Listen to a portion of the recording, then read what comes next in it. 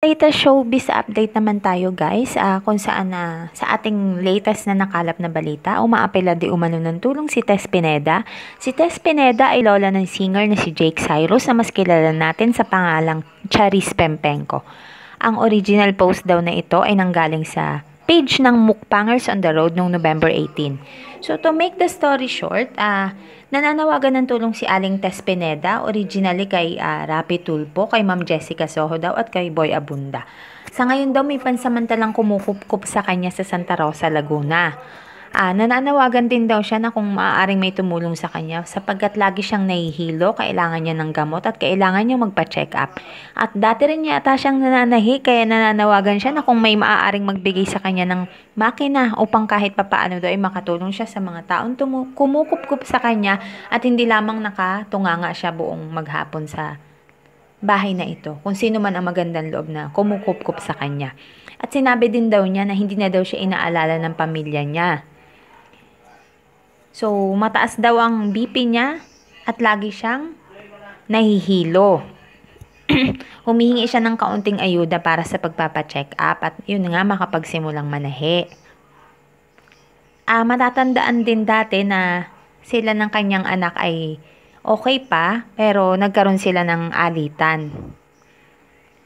Maging ng kanyang apo nga na si Jake Cyrus na dati ay si Charis Pempenko. At ang huli niyang sinabi ay, Charis anak, bakit mo ako ginaganito?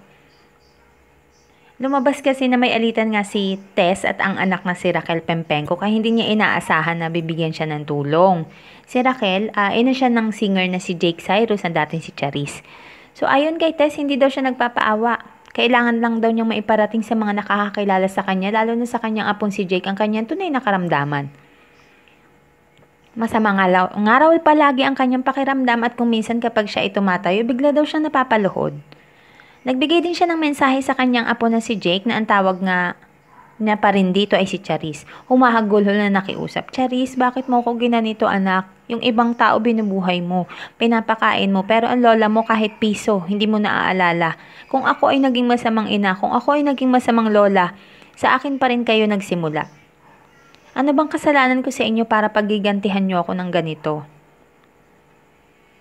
Uh, isa yan sa mga bahagi ng pahayag ng, na, ni Lola Tess Pineda. Matatandaan na noong September 2018 na stroke si Aling Tess at pansamantala siyang nawala ng paningin. Nakaratay din siya noon sa Santa Rosa Hospital sa Laguna. Uh, kwento pa ito dati ng kanyang anak na si Raquel. Kwento niya din to kay sa Philippine Entertainment Portal sa pep.ph nga. Nung panahong yun, wala pa daw alitan ng dalawa, pero sa ngayon, ah, may alitan sila, kaya hindi rin niya rin maaasahan ng tulong ang kanyang anak na si Raquel. So, naputukan siya dati ng ugat at pansamantalang nawala ng paningin, ngunit sa ngayon ay nakakakita na ulit siya. Noong September 2018 daw naman ay nakausap din ng PEP.ph si Jake tungkol sa masalimuot na ugnayan nito sa kanyang pamilya. Uh, ngunit tayo idetalye ni Jake ang anumang hidwaan na mayroon sa kanilang pamilya bilang respeto sa kanyang ina at lola. Which is good thing naman. Pero may hinuha sa mga binitiwan salita ni Jake na, med, na malayo ang loob niya sa kanyang pamilya. Paliwanag ni Jake ayaw niyang magpadala sa guilt trip ng ina at lola. Gayong madalas ay siyang pinalalabas sa demonyo sa pamilya. At hindi raw para idaan pa sa media kung kinakailangan man na magbigay siya ng tulong para sa lola. Yun yung pahayag na niya daw dati. So, apo niya ako. She has children. I think it's kinda unfair na ako lang lagi yung kanyang pinupunteriya. Yun ang sinabi pa niya dati.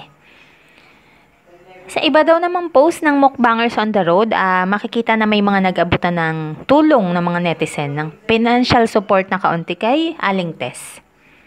Ayun ah, lamang at huwag kalimutang mag-subscribe sa ating YouTube channel para maging updated tayo sa any news na binabalita ng channel na ito. Magandang gabi!